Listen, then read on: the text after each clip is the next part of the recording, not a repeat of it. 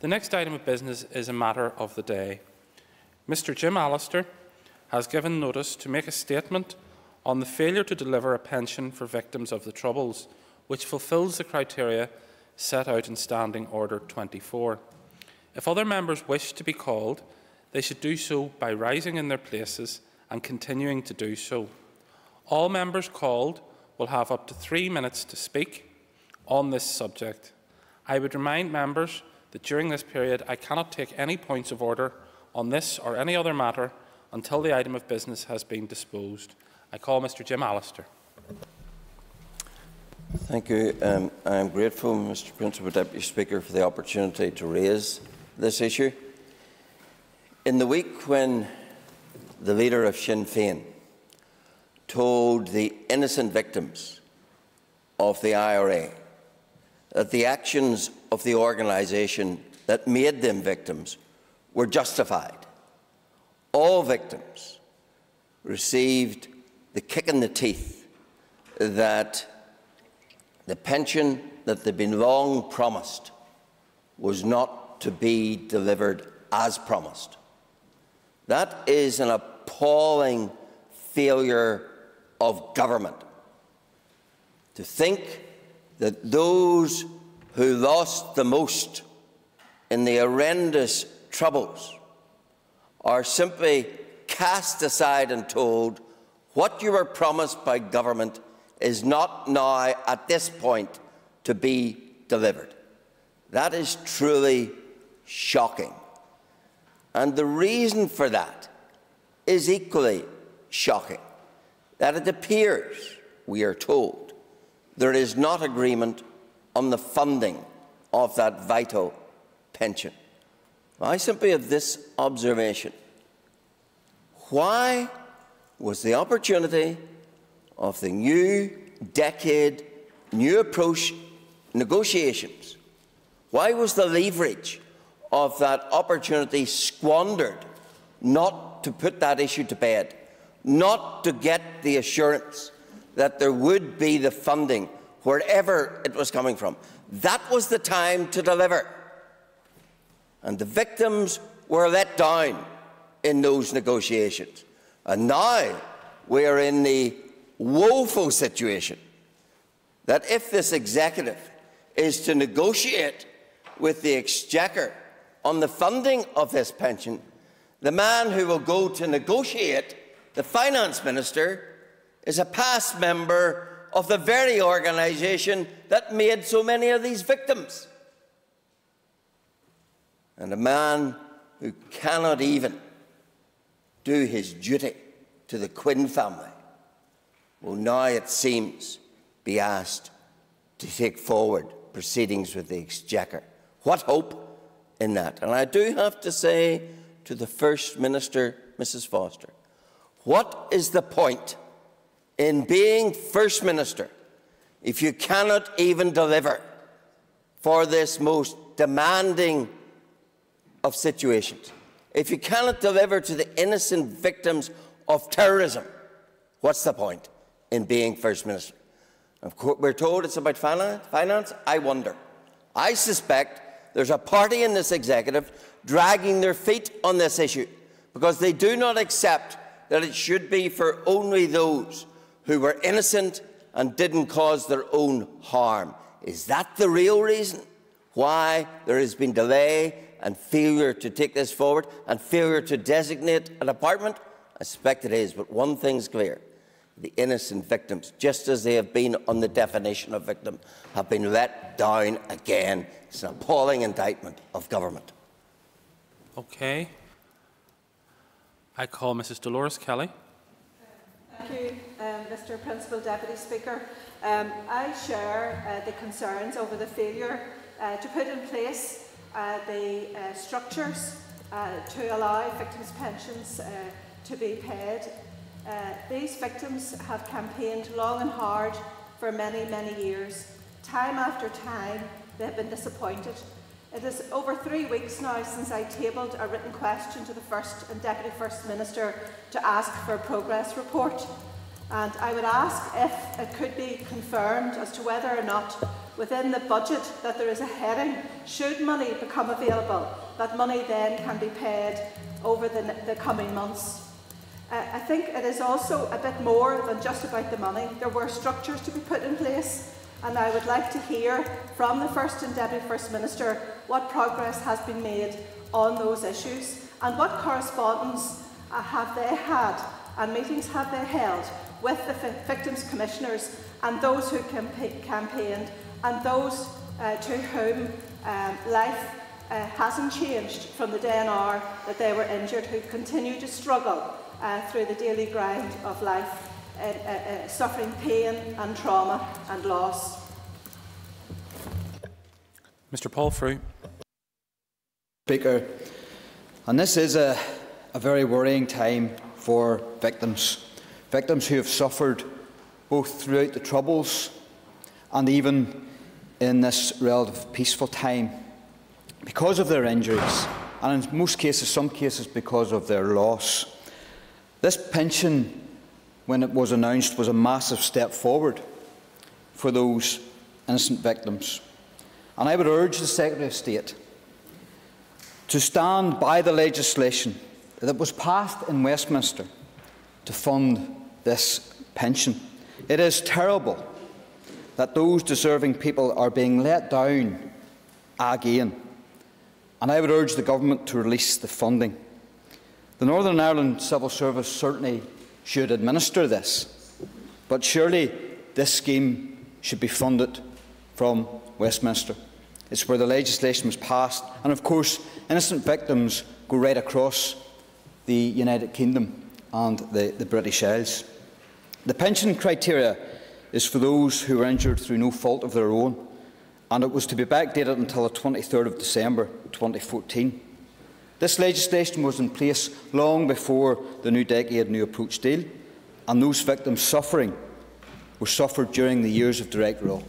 There's no doubt in my mind that these pensions must be administered, that the victims who have lost and have been hurt deserve this for all it is. Let's face it, Mr Deputy Principal Speaker. Let's face it, for all it is, it will never ever recoup the loss that they have felt.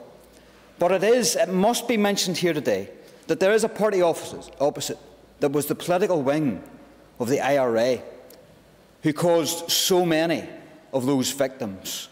And to hear them speak in the media about and demanding that the British government pay, pay for their evil, pay for the cause and harm and pain that they dealt out to those innocent victims, it is quite galling. Thank you, Mr Deputy Principal Speaker. Call Mr Gerry Kelly. Paula, um, I'm sorry I'm late. Apologies for not hearing uh, the beginning of this. Um, but, but let me let me say that Sinn Féin's position uh, has been for a very, very, very long time that there are victims. I agree with uh, Paul Frew, he's the only person I've heard, so forgive me for that. Uh, in that there are a wide range of, uh, of victims and uh, survivors community um, right across the board. Uh, they deserve this payment. I also agree with them that this will not compensate for the suffering that they've gone through, not only in the deaths and, and, and the injuries that were caused and caused to their families, and indeed their extended families into now another generation. But it is uh, some acknowledgement in what uh, they do deserve, an acknowledgement from society uh, that there was a conflict and that uh, people um, who were badly injured and still suffering over a long period of time. It's well past time where they got this pension. The pension has been agreed. Um, I disagree with uh, where the British government have brought it now, in the same way as I disagree that they have not uh, moved the Stormont House agreement forward, because we're dealing with the pension here, but we're also dealing with a wide ranging issue of uh, that community of victims and survivors uh, who have suffered uh, so much over uh, that long period of time. Um, to try and define it or redefine it, as they are, of course, trying to redefine um, the whole issue around the structures around Like legacy, um, is the uh, British government either trying to shy away from it, trying to be, um, if I could say, uh, bloody minded about it in terms of uh, where they're going uh, in this. But there is a legal definition uh, of a victim. It is in law. It's there from 2006. We've had the Stormont House Agreement from 2014. I, and I'm, I'm presuming uh, every other party here and our party, have been trying to get these structures set up and trying to get the uh, pension for victims moved along from the beginning. The issue, and Paul Frew uh, pointed towards Sinn Féin, the issue around uh, the British uh, government um, now trying to, to redefine uh, what a victim is and trying to decide who should and should not. Uh, when there was an issue, and there has been an issue around uh, a small number of people, uh, which I, I, accept, there is a, a, deep difference of opinion in terms of uh, Unionists and, uh, and certainly uh, Republicans. Um, but they, they have now tried to spread that out to involve hundreds, hundreds of people that may not be um, eligible um, for this uh, pension. Uh, the issue of money, which is the issue which has been in the headlines mostly in terms of this, uh, it is Westminster legislation. Um, the Assembly was not set up. Uh, there is an issue around the British government and the fact that the, and it's been said by both the, the First and Deputy First Minister, that the uh, Assembly cannot, the Executive cannot afford. And it is saying, I, I noticed that the amount around is, is 100 million and I would uh, hesitate to think that 100 million would actually cover this. Mr Kelly, I'm afraid members were limited to three minutes each. I beg your pardon. well, I, I finish with that. I think the pension should go ahead, but it should go ahead on the basis that the British government need to pay for it because the, the executive cannot afford. it. Mr Doug Beattie. Sure, and, and I've got to apologise for missing the start uh, of this matter of the day and, and missing most of the contributions, um, which I'm in no doubt um, uh, were extremely worthwhile. I mean, this has been a bad week for victims. Um, it's been a bad week um, for the Victims Payment Scheme. Uh, it's been a bad week for historical institutional abuse in the, the, the data breach. Uh, and victims are being re-victimised all over again. The issue of this pension scheme, and there's lots of arguments about who should and who, who should not get it, and I'll have a view and I'll give that view in a minute.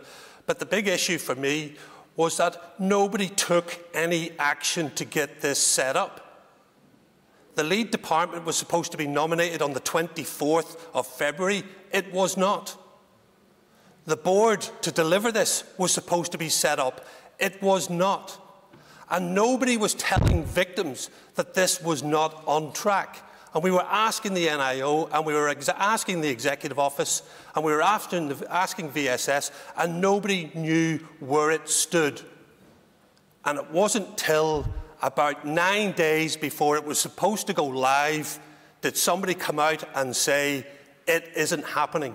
And that caused huge distress amongst the victims community, massive distress.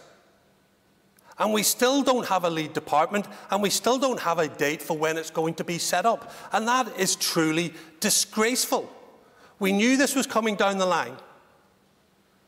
We can have arguments here, and we will have arguments, and I absolutely see where people will have a different point of view than I will have it as, uh, in regards to who should and who should not get it. I cannot ever stand up and say a perpetrator is entitled to this pension. I'm sure people will understand why I'm willing to say that, why I have to say that, why I'm always going to say that. That innocent victims always have to come first. But I'll accept other people have different views. Let them have different views. Let them put their case across, but my view will not change. The issue about money is not a side issue, but it's not just the main issue, because the Executive Office did nothing in regards to this. Absolutely nothing. It's shameful. They need to take the blame for this. The issue of money is so unedifying. This is a UK-wide scheme. People and victims, innocent victims in Birmingham, in Manchester, in London, in Warrington are entitled to this payment in exactly the same way as people in Londonderry or in Belfast or in Armagh are entitled to that. So the UK government do have to put some money in. But we have a responsibility here also in our executive. So there has to be a, a, a, conversation between our finance minister and the Treasury because we have to pay our way. We have to put our share in. And that's what's not happening. There's no conversation, and that's a disgrace. Mr Chris Lyttle. Thank you, Principal Deputy Speaker. Uh, it's been my privilege to work with victims of the Troubles, um, organisations such as the WAVE Injured Group and the Victims Forum during my time as Deputy Chairperson of the former OFM DFM Committee and participant on the Haass O'Sullivan talks as long ago as 2013. The Alliance Party has consistently and actively campaigned for the delivery of a pension to provide a degree of financial support, independence and recognition for those seriously injured in the Troubles. And the extent to which victims themselves have had to fight for this modest assistance is wrong. All parties signed up to this approach in the new decade, uh, new approach agreement, and it is unacceptable that the pension has yet to be delivered. It must be recognised that the UK Government does have a responsibility to funding for this pension, given its commitments made during this agreement, and indeed that the Executive Office uh, to its delivery. Victims have been let down for far too long. Principal Deputy Speaker and Alliance will continue to, to do all we can to ensure prompt delivery of this pension scheme. Thank you. Thank you. I call Mr Colin McGrath. Mr uh, Principal Deputy Speaker, and of course we also support this because we want to see that finance and that funding making its way down to uh, victims as quickly as possible. They have waited far too long. Uh, they've been given too many uh, false hopes in the past, the most recent being uh, contained within the NDNA document, uh, and we understand that there have been difficulties for the Executive and what they've been dealing with. But from the committee perspective, from the Executive Office, we have continued to put that pressure on to see a resolution and delivery of the scheme. Uh, and we've also had a cross-party agreement that the bill should be at Westminster. Uh, the funding needs to come from there. It's quite a sizable amount of money um, that needs to be found. As has been referenced earlier, we've been given uh, a wide range as to how much this scheme could cost, uh, and it, it is a considerable amount of money. Um, and given the fact that the bill to deliver the scheme originated in Westminster, it is the view of the committee that that's where the finance should come. And also the fact that many of the victims are from beyond uh, the north. They're from uh, various places across the UK, Ireland and indeed the world. So uh, the funding maybe starting and originating from here may not be fair either. But we certainly want to see the delivery of this scheme as quickly as possible. Mr Mike Nesbitt. Uh, I'm going to speak partly informed by my uh, experience as one of the commissioners for victims and survivors uh, when that commission was set up around early 2007. Uh, there were four of us and we had at times significantly different views on what we should do for the victims and survivors of our conflict. But a common theme was listening to victims and survivors. And one of their common themes was that on the day that they or their loved ones were injured, that there was an expectation that the state and the services of the state would form wagons in a circle around them and give them support. Did they need medical help? Well, we had a health service for them. Did they need their children transported to school? We could organise that. Did they need short term cash flow issues addressed? We could do that. The common experience was that they were totally ignored. They were left to fend for themselves. And as the years became decades and the decades passed, the common experience was a feeling that we wanted them to simply grow old, fade away, and die. And I think we can all agree in this chamber that is not what we want.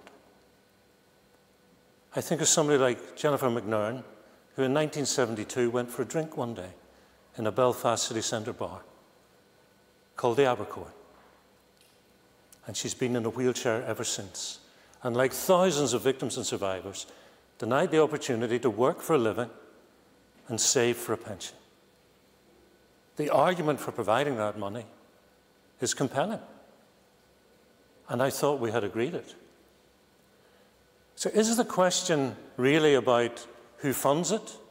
Whether Treasury provides £100 million above and beyond the block grant? Or whether we bring it out of the executive's budget? Or is it about something else? Is it about who qualifies for the pension? And I accept we have a definition in the 2006 order. But we have done plenty for people who were injured by their own hands. If somebody hurt themselves with their own gun or their own bomb and they had to present at the A&E at the Royal Victoria Hospital, the NHS didn't say, how did you get injured? And if it was by your own hand, away you go. We have a compassionate, caring state and services. But this goes beyond that. This is about saying to people like Jennifer McNern, we owe you, and we must find a way to do it. Commissioner Rachel Woods. Thank you, Mr Principal Deputy Speaker, and I thank the member for bringing this up in the Chamber today and for the opportunity to speak. I too share the concerns on the failures of this process being up and running as promised, which was supposed to launch at the end of May. This delay to the opening of the pensions payments application is yet again another harsh setback for the victims. The lack of clarity about who will fund the scheme is stalling the process again and, it, for, and represents another setback for the very people who it is for. Never mind the inclusion of this in the New Decade New Approach document and agreements made, commitments given, and as others have said, this is not new. This pension was agreed in 2014 and signed into legislation in January. And I would echo the calls of other colleagues in this chamber. We need answers from the executive ministers, from the First and Deputy First Minister, and I would urge them to attend this chamber to take our questions and actually give us some solid answers. What conversations have happened with Westminster? What of the Secretary of State? What conversations have happened with the various departments and ministers here for the structures to be set up? And why is there no clarification being given to anybody? There have been many saying for years that they would do all they can, that there is a determination to get this through. So let's see it. Let's see the determination in getting this sorted for the sake of victims. I would expect that a quick resolution on this matter is to be found with the Executive and the Treasury.